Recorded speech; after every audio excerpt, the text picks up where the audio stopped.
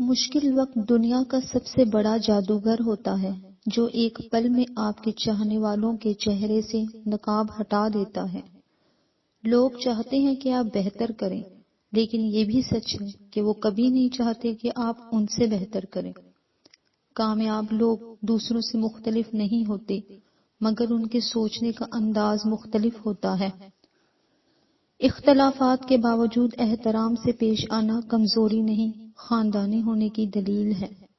कामयाब लोग अपने फैसलों से दुनिया बदल देते हैं और कमज़ोर लोग दुनिया के डर से अपने फैसले बदल देते हैं। कभी भी किसी को नीची नज़र से मत देखो, क्योंकि तुम्हारी जो हैसियत है, ये तुम्हारी काबिलियत नहीं, बल्कि अल्लाह का तुम पर करम है। कोई कहता है दुनिया प्यार से चलती है, कोई कहता है दुनिया दोस्ती से चलती है। जब आजमाया तो पता चला, दुनिया सिर्फ़ मतलब से चलती है। ज़िंदगी में अपनापन तो हर कोई दिखाता है, मगर अपना है कौन, ये वक्त बताता है।